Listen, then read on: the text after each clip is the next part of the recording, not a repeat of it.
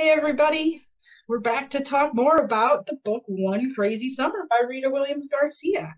Um, such a great book. If you haven't read it, look for the links below to check out your copy and then read it. It's so good. Then come back to us for this discussion. So, the book Um, takes place in Oakland, California in 1968, and three sisters leave Brooklyn to spend the summer with their mom.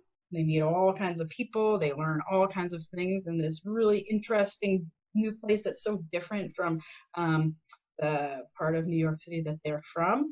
So some of the people they meet are members of the Black Panthers Party. Um, reading this book, you really learn a lot about that movement. I know.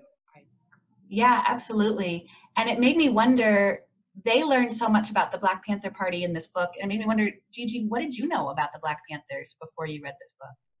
yeah, so most of what I knew about the Black Panthers was uh, stuff that I learned um, when I was a kid and in history class in school. And I remember learning that they were um, a, a militant movement um, that uh, supported uh, equal rights for uh, African American folks in the United States, and they uh, were not um, averse to using violence.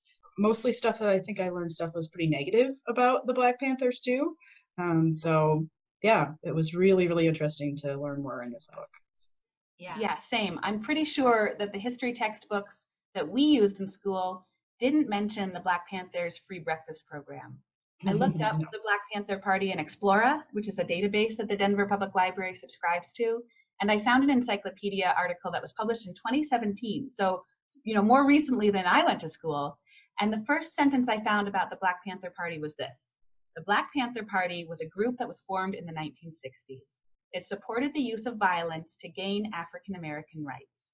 The article doesn't talk at all about youth programs or the free breakfast, and I really didn't learn very much about the public programs that the movement ran until I was a grown up. And I'm Mhm. still learning more about the ideas that led to the founding of the Black Panther Party. I found some interesting resources about them that I'll link to below. For instance, on the website for the National Museum of African American History and Culture, I found a video of one of the founders of the Black Panther Party, Bobby Seale, talking about what the movement was for. He said, We want housing, we want clothing, we want education, we want justice, and we want peace.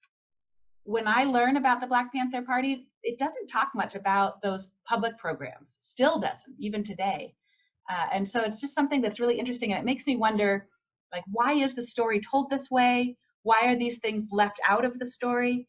And it makes me wonder, when they tell the story of today, of what's going on this summer, how will the textbooks say it? How will they, what will they put in the textbooks, and what will Those they leave out? really, really good questions to think about, Lisa. Yeah, that, that is a lot to consider.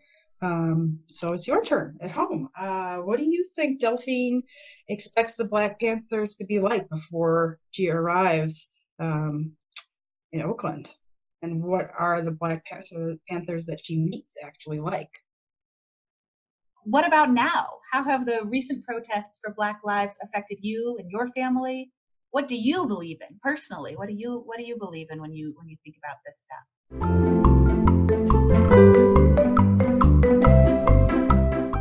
Thanks to everybody for watching. Um, take some time to discuss this fascinating book and come back for more Book Explorers videos. We'll be posting explorations of new books every month. Bye now. Bye everyone.